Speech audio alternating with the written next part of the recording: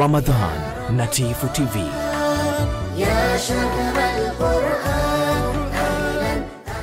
Mpenzi mtazamaji, kama ndio kwanza nafungua chaneli yako ya Tifu TV, tafadhali subscribe ili uwe mwanzo kupata video zetu mbalimbali za ndani na nje ya nchi. Share video hii bila ya kusahau kudondosha komenti yako, kwani ni muhimu sana. Rufaa ya pili ambayo Bwana Mtume sallallahu alaihi wasallam ni hasa kwake yeye, atawaombea watu ambao wamestahiki kuingia motoni. Atawaombea watu ambao wamestahiki kuingia motoni, wataingia janna. Shufaa ya tatu Bwana Mtume sallallahu alaihi wasallam atawaombea watu waingie peponi bighairi hisabin, bila hata kuhesabiwa. Shufaa ya nne Bwana Mtume sallallahu alaihi wasallam atawaombea watu wa peponi waongezewe daraja, na shufaa ya tano wataombewa watu ambao tayari washaingia motoni watoke katika moto. Haya yote yanathibitishwa na hadithi za Bwana Mtume sallallahu alaihi wasallam eh?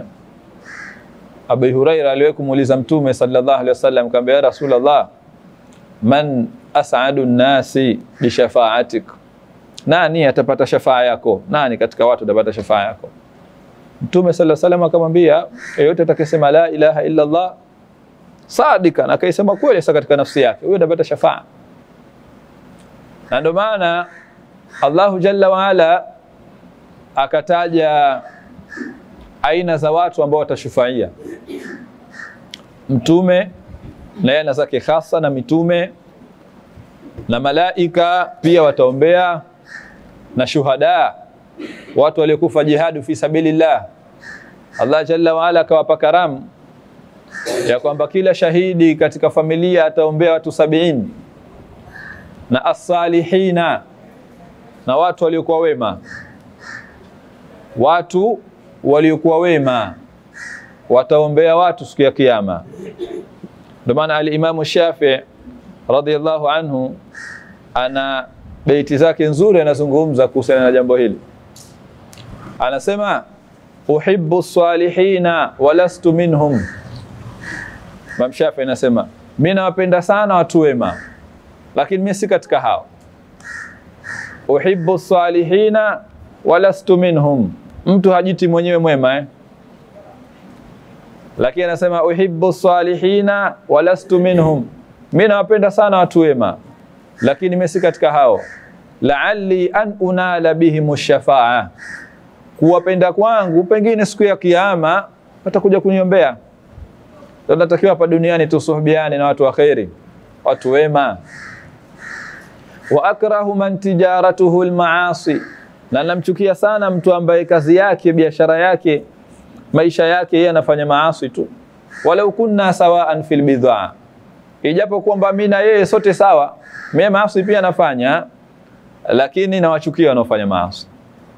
Alimamu Shafi rahmatullahi anazungumza hili kwa kuonesha kwamba asalihin, watu waliokuwa wema watakuja kuwaombea wenzi wao siku ya Kiyama, na hadithi za Mtume sallallahu alaihi wasallam zimekuja nyingi, tena hamtoi mmoja wala wawili wala watatu, magurupu kwa magurupu, makundi kwa makundi, watapata shafaa. Ndio maana Allahu jalla waala anasema shafaa nabiyuna, mitume ishaombea watu, wa shafaati lmalaika, na malaika washaombea watu e, na asalihuna washaombea watu, wabakia shafaatu arhamur rahimin, hadithi al-Kursi eh? Allah anasema itabaki shafaa yake yeye Allah jalla waala ya arhamur rahimin, atawatoa watu wote motoni, kila waliosema la ilaha illa Allah ndio tunaambiwa Muislamu lan yakhluda fi nari, Muislamu mumin aliyetamka shahada hakai motoni milele, ataingia kule kwa ajili ya kusafishwa tu madhambi yake, sababu Mtume amesema lan yadkhula aljannata man kana fi kalbihi dharratun min alkibr au dharratun min alkhabath, haingii peponi mtu yoyote ambaye katika moyo wake ana chembe tu ya kibiri au ana chembe tu ya uchafu, haingii peponi. Lazima chembe hii ikasafishwe. Kwa hiyo hizi ni aina tano za watu ambao watakuwa wenye kuombea. Lipi ambalo kwetu sisi muhimu tulishike? Hapa Allahu jalla waala aliposema kwamba e, man dha ladhi yashfau indahu illa biidhnih, tujiweke kwenye grupu ya ambao tutakuja kuombea au tujiweke kwenye grupu tutakuja kuombewa? Tutizame hadithi za Mtume sallallahu alaihi wasallam, tujilazimishe na amali ambazo zitawajibisha kupata shafaa. Akituweka Allah kwenye grupu hilo huko ni katika fadhila zake, lakini Bwana Mtume sallallahu alaihi wasallam amesema kuna baadhi ya matendo na kuna baadhi ya amali mja anapozifanya hapa duniani akadumu nazo, basi siku ya Kiyama atapata shafaa ya Mtume. Ya kwanza tuliyozungumza kusema la ilaha illa Allah, ukaitamka hali ya kuwa ukweli katika nafsi yako. Ya pili Bwana Mtume sallallahu alaihi wasallam anasema duau ba'da al-adhani, kusoma dua baada ya adhan. Na kuna mambo matatu dua ya adhan. Kwanza kumswalia Mtume kabla ya dua yako, imekuja hadithi inahimiza jambo hilo. La pili kuisoma dua yenyewe. Ya tatu kuomba dua baada ya dua. Mtume amesema baada al-adhana wal ikama ni, ni wakati wa mustajaba baina ya adhana na ikama pale katikati pale ni wakati ambapo dua inajibiwa. Kwa hiyo mja kuisikia adhana inaadhiniwa hata kama unasoma Qur'an. Kama istishari hii inakujua, funga msahafu wako, isikilize nidaur rahman, ni kalima. Tizama Mtume sasema alivyoitaja, Allahumma rabba hadhihi ad-da'watu tamma. Adhana imeitwa ad-da'watu tamma, ulinganio uliokamilia, wassalatu alqaima ati sayidina Muhammad alwasila walfadila wab'athuhu makama almahmuda allati wa'adtahu innaka la tukhlifu almi'ad. Wanazuoni wanazungumza, kuna baadhi ya maneno yanapunguzwa, mengine yanaongezwa, riwaya tofauti zilizopokewa juu ya dua hii. Mtume anasema atakayesema dua hii kila baada ya kumaliza adhana wajabat lahu shafaati, huyo atapata uombezi wangu siku ya Kiyama. Lakini wangapi sisi tukisikia adhana tuna tunatulia na tunaitikia na tunailetea hii dua, bali wanazuoni wanasema katika alama za khushui ya swala zinaanza tangia kwenye adhan, zinaanza tangia mtu anatia udhu. Utakumwona mtu kwenye swala yake kwamba huyu ana hudhur, anafahamu anachokisema, anaenda kuzungumza na Mola wake kweli tangia adhana anaanza kuiheshimu na kuistashir kwamba huu ni wito mkubwa, Allahu akbar. Sasa Mtume anasema ukisoma dua hii wajabat lahu shafaati, shafaa yake utaipata, so dua ya kuachwa kila dhana ikimaliza. Labda litakuja masala pengine katika mtaa mmoja kuna misikiti zaidi ya mitano, akimaliza huyu anakuja huyu, akimaliza huyu anaadhini huyu. Sasa ustadhi, vipi adhana zote naitikia hizo? Maana kila meshafaa ndio naitaka, isije kwa adhana ikalia alafu nikawa nimenyamazia. Kama unaweza kuitikia zote itikia lakini wajib utaondoka kwa adhana moja. Na mkazo imetiliwa hasa kwa wanaume wanakwenda msikitini kuswali jamaa, kwa ule msikiti ambao wanakwenda kuswalia, maanake ndipo walipoitwa pale, akaingia akaingia pale. Kwa hiyo la pili, Bwana Mtume sallallahu alaihi wasallam kasema katika mambo ambayo yanawajibisha mtu apate shafaa yake siku ya Kiyama, kuitikia hii adhana, kwa sababu unamwombea makama al-mahmud, na Mtume kasema tumwombee dua apate huo wasila, kama Allah jalla waala alivyomwambia wa min al-laili fatahajjad bihi nafilatan laka asa an yab'athaka rabbuka maqaman mahmuda. Maqama mahmuda, hiyo siku Bwana Mtume sallallahu alaihi wasallam atakayokwenda kusujudu katika arshi, na hiyo siku ambayo Mtume atawaombea watu. Kwa anasema niombeeni, hii ni nafasi ambayo itahimidiwa na kusifiwa na watu wote, wataona sharafu na ukubwa bwana mtume sallallahu alaihi wasallam. Ndio maana hata al-Busiri ametaja sehemu hii, Muhammadun sayyidul kaunaini wathakalaini walfarikaini min urbin wa min ajamin nabiyuna al-amiru nahi fala ahadun abarra min qawli la minhu wala na'am huwa al-habibu alladhi turja shafa'atuhu likulli hawlin min al-ahwali muktaham huwa alhabibu alladhi turja shafaatuhu, Bwana Mtume sallallahu alaihi wasallam kwake hutarajiwa shafaa yake. Kwa hiyo katika amali ambazo tunatakiwa tudumu nazo ni kuleta dua baada ya adhan. Nyingine ndo hizi ambazo tunaishi nazo katika wakati wetu wa sasa, lakini hadithi zimekuja zimetaja hii amali yenyewe. Mtume sala salam kataja siyam, akataja na Qur'ani kwamba yashfaani lilabdi yauma alqiyama. Hii Qur'ani tunayosoma na hii funga tunayofunga itakwenda kumshufaia mwenyewe mja siku ya Kiyama, na saumu itasema kwamba huyu kajizuia na kula na kunywa na kadha kwa ajili yako ya Rabbi, mshufaie. Na Qur'ani nayo vile vile. Katika amali nyingine ambazo zinatajwa zaidi mpaka watu wafike mfungo sita masasi ya Mtume, as-salatu ala nabi, kumsalia Bwana Mtume sallallahu alaihi wasallam. Mtume anasema katika hadithi ambayo e, ipo katika Tabrani, yoyote atakemsalia Bwana Mtume asubuhi ashra na, na jioni ashra, basi atapata shafaa ya Mtume, wala hakujawekwa uzito. E, Bwana Mtume sallallahu alaihi wasallam ukiona katika dua na adhkari nyingi ambazo kawaambia watu wasome, so adhkari nyingi ambazo zinafika unaambiwa soma alf, kaupa umma takhfif, ili mja afanye jambo jepesi lakini muhimu adumu nalo. ndo tunaambiwa bora ya amali iliyokuwa ndogo lakini yenye kudumu kuliko ukawa kwa siku moja la bas kheri, na sababu zake utazikuta. Unamswalia mtume mara elfu tatu mara elfu mbili lakini tena mpaka mwezi ujao, kila siku mswalie bwana mtume sallallahu alaihi wasallam.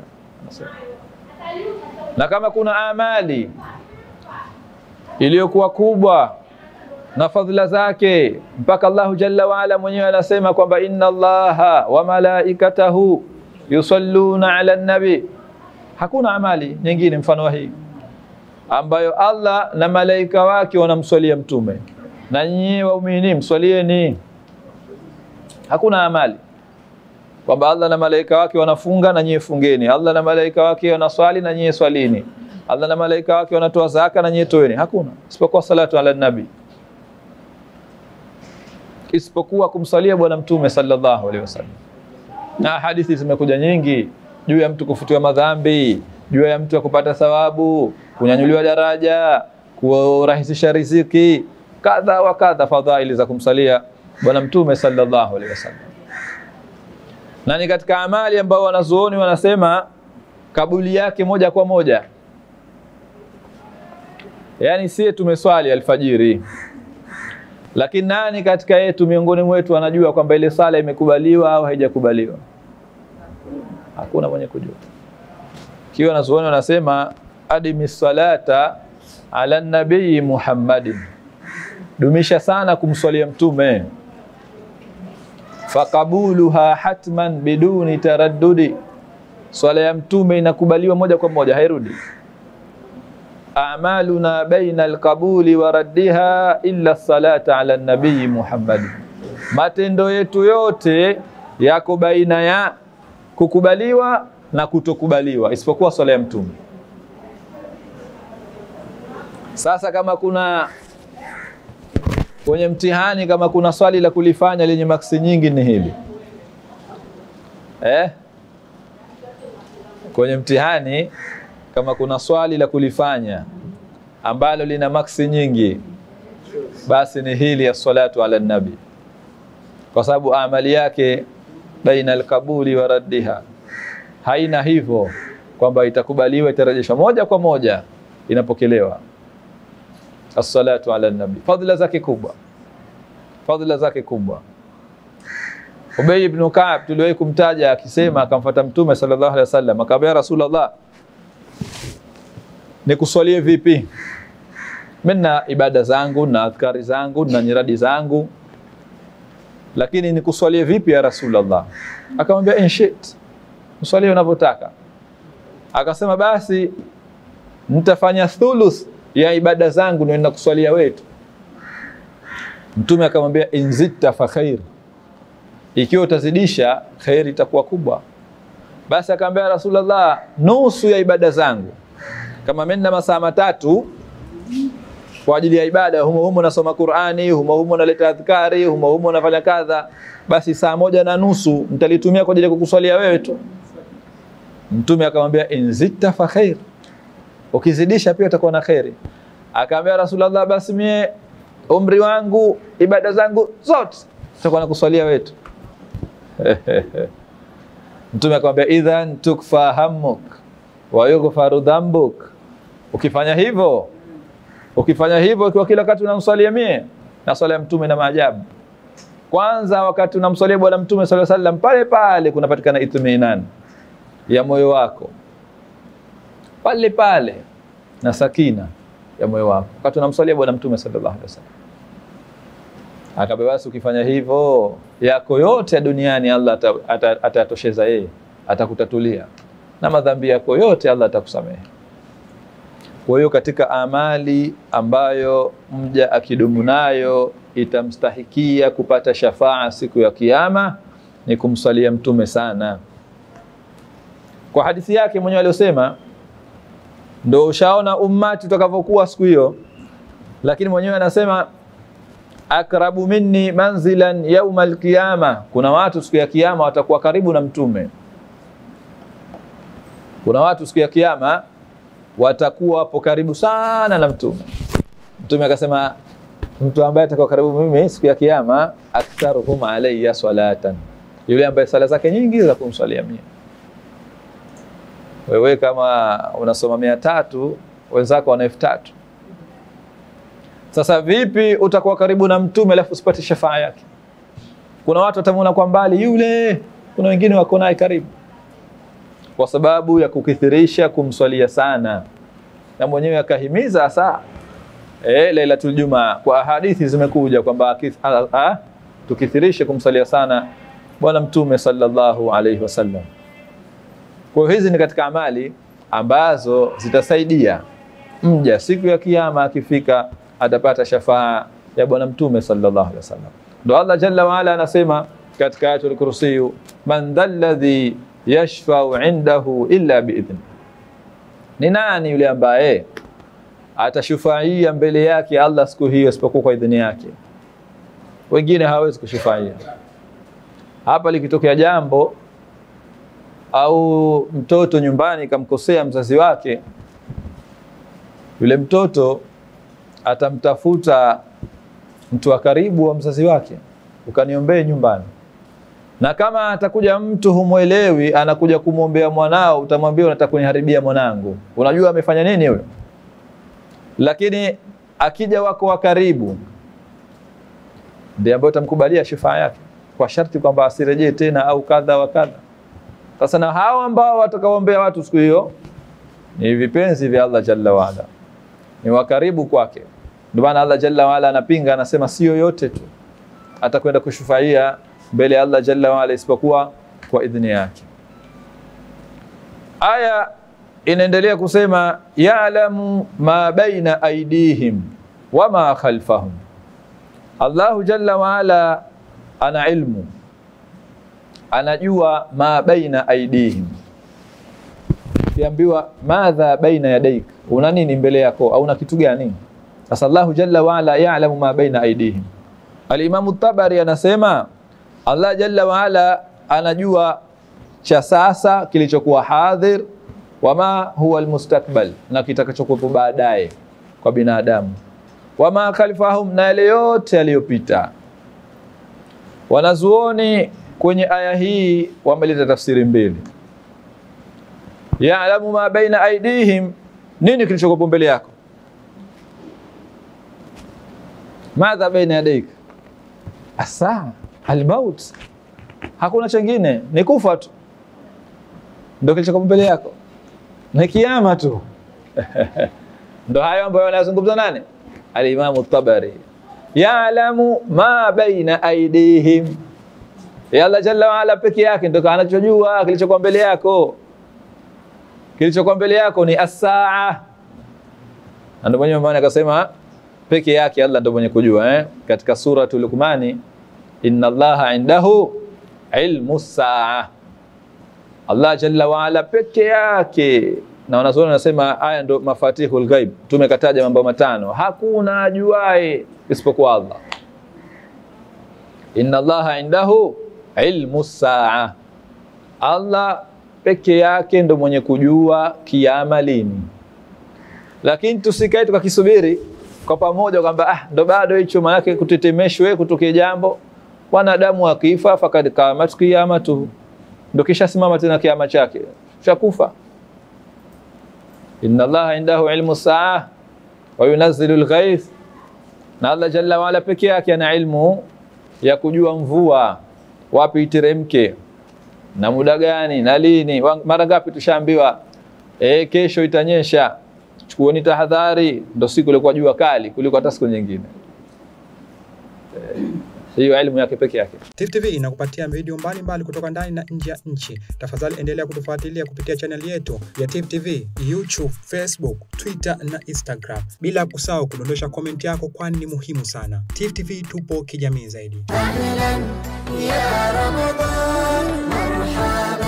Ramadan na Tifu TV.